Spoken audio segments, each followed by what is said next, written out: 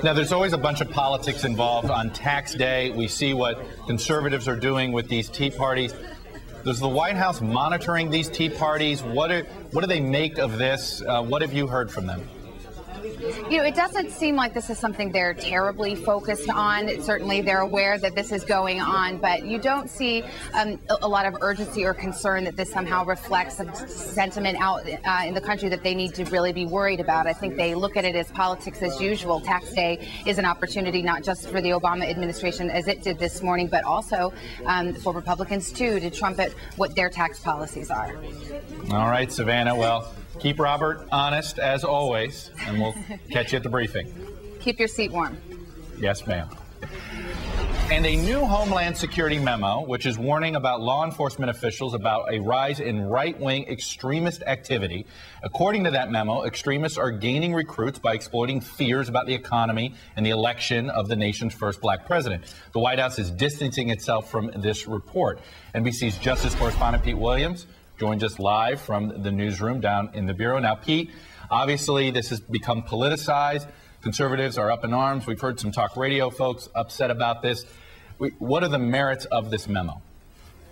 Well, the memo nowhere talks about conservatives. In the entire memo, the word conservative isn't even there once. This is talking about uh, groups with violent tendencies or that are hate based. These are neo Nazi groups, white supremacist groups, groups that are strongly anti government.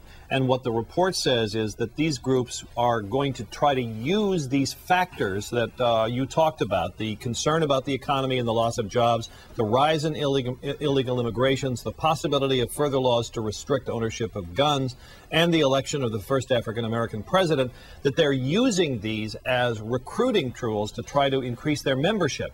Now, at the same time, the, the uh, report says that there is no sign that groups are intending to use any of these things to uh, to carry out attacks or acts of violence, and that they're not planning to do so. This is all in the talking stage and the recruiting stage.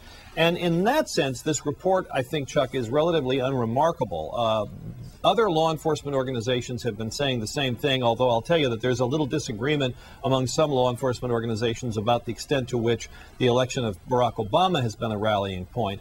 But they've noted these same trends for the last couple of years. Now, I was just going to say that this uh, this idea. Sometimes you hear about the just the phrase chatter, right? And if there's a rise in chatter, even if it's uh, just literally just that chatter and not a serious threat, could that cause the writing of a memo like this? Maybe just an increased amount of chatter from some of these groups, maybe by monitoring websites or just seeing increased activity.